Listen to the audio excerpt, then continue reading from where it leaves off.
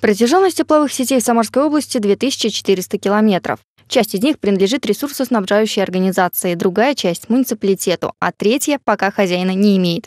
В среднем износ труб достигает 70%. Чтобы заменить старые коммуникации, необходимо дополнительное финансирование, которое может обеспечить метод альтернативной котельной. Когда вопрос альтернативной котельной, а, будем говорить, готовится и произойдет это, то, то сегодня это все будет сидеть затратах. Будет обязанность перекладывать, как сети, будем говорить, приводить нормативное состояние и собственные, и муниципальные, и бесхозные и тому подобное.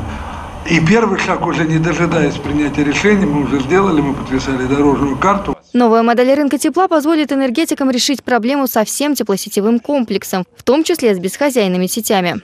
Можно будет вкладывать заемные средства в их обновление, чего при нынешней модели тарифообразования невозможно. Ресурсоснабжающая организация э, будет стремиться к повышению качества и надежности теплоснабжения. Значит, ну, как я говорил, инвестиционные программы разработаны, и э, объем средств, который необходим для приведения в нормативное состояние системы э, теплоснабжения в, четыре, в трех городах Самарской области, составляет порядка 50 миллиардов рублей. По мнению энергетиков, этих денег будет достаточно, чтобы привести теплосети в порядок. Мария Левина, Максим Гусев. События.